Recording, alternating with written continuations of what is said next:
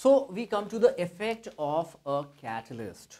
Okay, we have been told since since the time we were told about the chemical reactions that catalyst is something that accelerates the rate of reaction without itself participating in it. Okay. Hmm, awesome. Poisons decelerate. There are poisons also which decelerate. Okay. You deliberately want certain reactions to stop after some time. So they are called poisons. Okay. So, so what happens? So what happens? We have done this. We are doing this catalyst, and and what is understood now? The first thing that used to fox me at least was if it is not participating in the reaction, what, what the hell is it doing there? Okay, and how the reaction is getting accelerated just by its own presence. Later, when you come to know, and, and more so when you go to the organic chemistry, you understand that these catalysts, they form an intermediate. Okay? And that intermediate, okay, so they form an intermediate compound. So in that sense, they do participate in the reaction. After some time, you will find that the catalyst gets separated from that intermediate and that intermediate reacts with something else in the reactant to form some other product. Okay?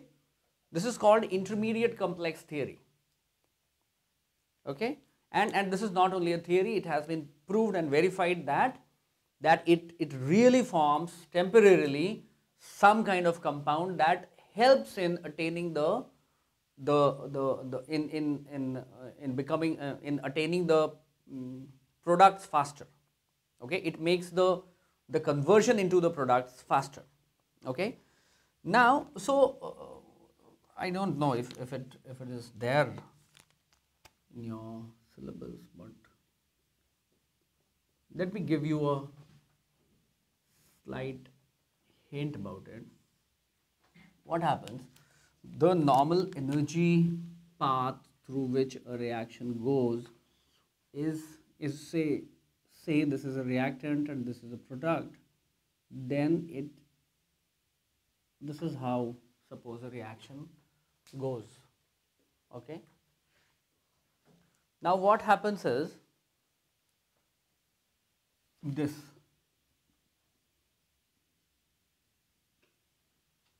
the maximum energy above the energy of the reactant that it goes is called the energy of activation. This is energy of activation.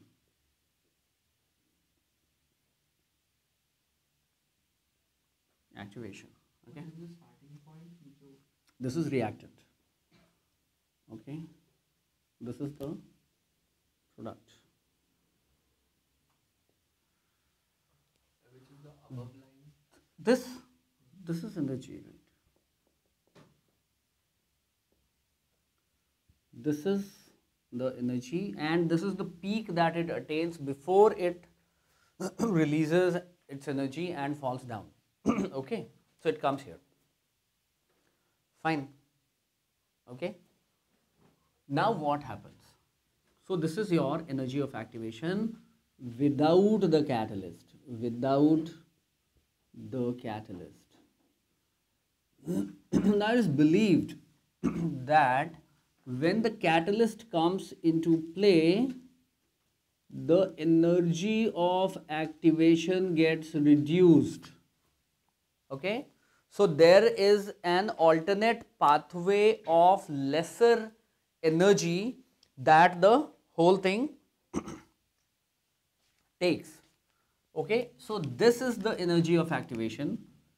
This is the energy of activation with the catalyst. This is EAC. Okay.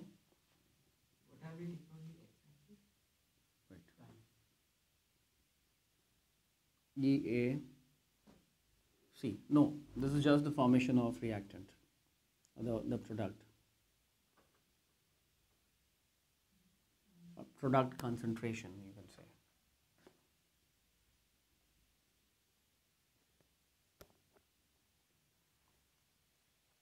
Okay, this is the product concentration. So what happens? This EAC is the energy of activation energy of activation without the, oh, sorry, with the catalyst. Okay. So what happens actually the catalyst forms the catalyst forms an intermediate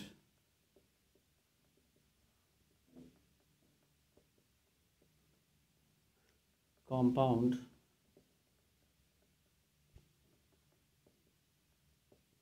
With the reactants or, or, or an intermediate compound with smaller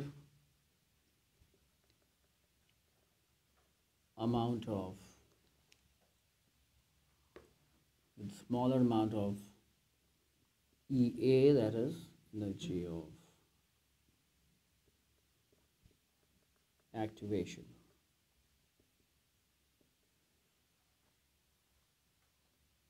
Smaller amount of EA okay? This accelerates the rate of reaction. This accelerates the rate of reaction. However it does nothing to the equilibrium constant. The equilibrium constant remains where it is however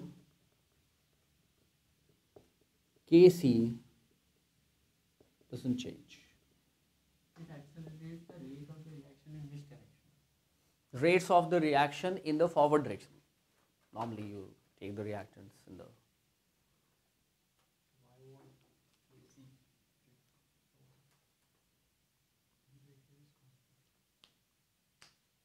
it accelerates the rate of reaction. Rate is how fast it achieves the product.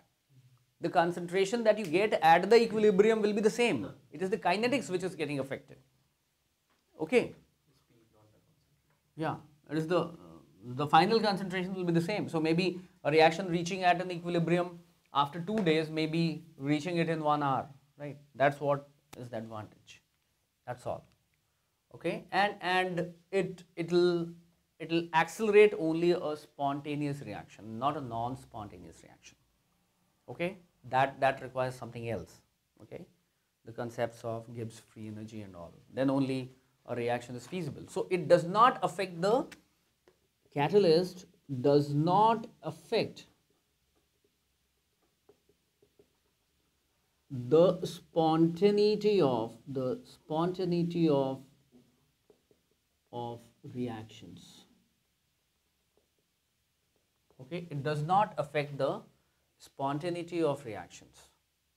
That is it accelerates only the only the spontaneous reactions.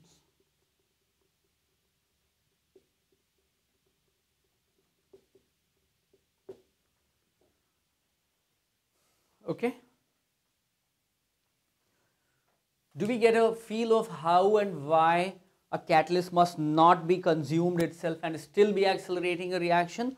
We'll very clearly see this happening in this very class in organic chemistry when you go for maybe chlorination of benzene or whatever okay? You'll you'll actually see how an intermediate complex gets formed which suddenly breaks releases the releases the metal maybe iron or aluminum which you are using as a catalyst and then itself itself uh, it, it releases that catalyst and then the product is formed and and and it takes this this lesser activation energy path okay? More about this you'll learn in in class 12 when you understand why and how things get changed when when the activation energy goes lesser than what it was originally okay? There is there is an equation that governs it the rate of reaction